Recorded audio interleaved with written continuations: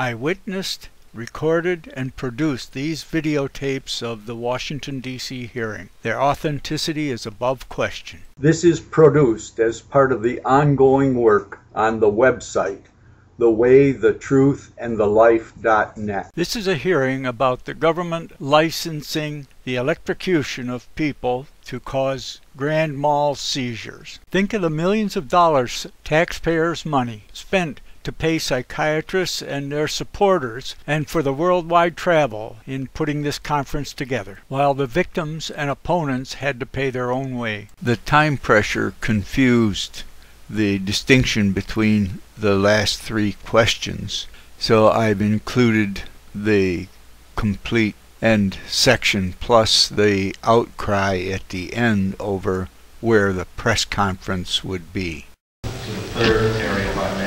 What factors should be considered by the physician or patient in determining if and when ECT would be an appropriate treatment?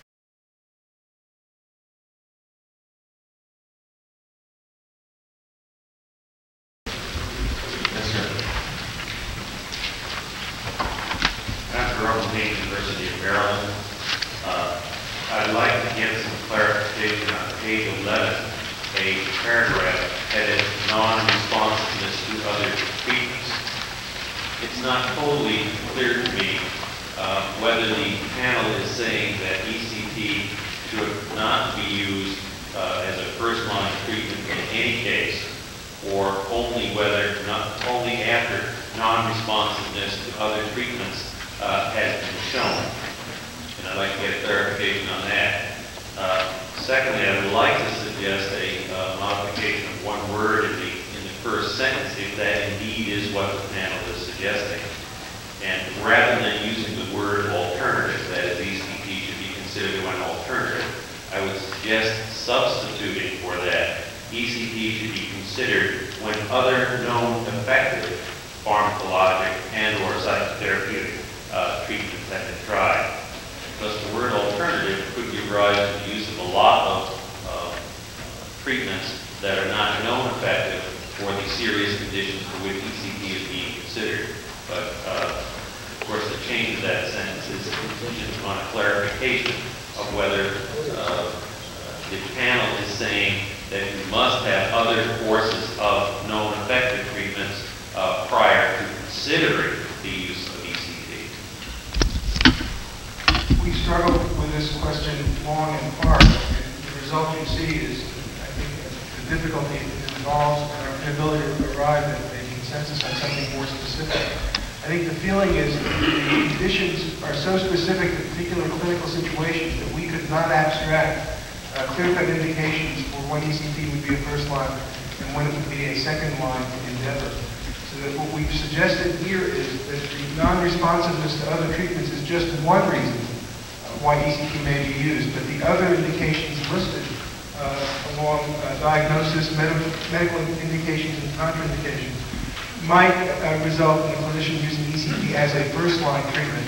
We haven't spelled it out clearly, and that's a problem. Perhaps then uh, not using a separate heading for this paragraph might be helpful because I misinterpreted that, I guess because of the uh, separate heading. Thank you. And also the possibility again of, of changing the known effective treatments for those disorders would be consistent with what you said.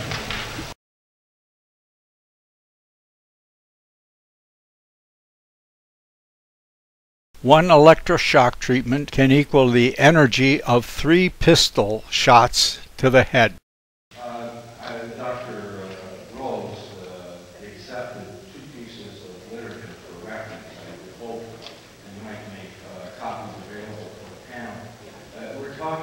having a please factor in information on the device and what we're using. And the one copy is the Thymatron, the brochure on a single sheet panel on the Thymatron pulse DCT device. And in there shows the physical characteristics. I've also included a current Winchester ammunition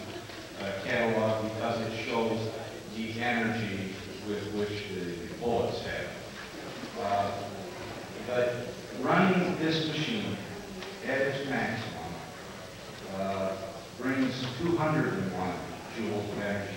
That is 148 foot-pounds. If you're interested in actually understanding like the truth in the and what they're talking about, one joule is 0.07376 foot-pounds. But what this means is this device, when operated at its maximum capacity, will lift a one-pound weight energy contained in that is equivalent to three 25 caliber pistol slugs. Now that is just pure factor data. Uh, to give that lifting of one pound energy equivalence in informed consent, how could you not do that? And if you're going to give a procedure, the total energy and the total time are the physical parameters that characterize the device. How could you not include that information? And if a doctor prescribes a drug, he has to record the prescription. Why isn't the total time and the total energy recorded? This has been an experimental hazardous device for years now. Why hasn't this information been gathered that we could be talking with concrete objective facts rather than subjective opinions of psychiatrists and? One electroshock treatment can equal the energy of three pistol shots to the head. All right, out with your gun. Out with your gun.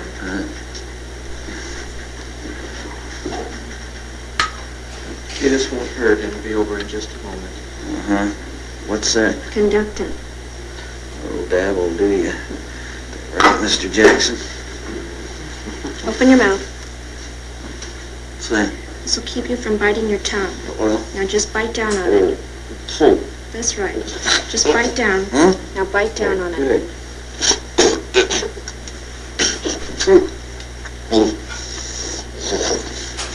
You ready? Here we go.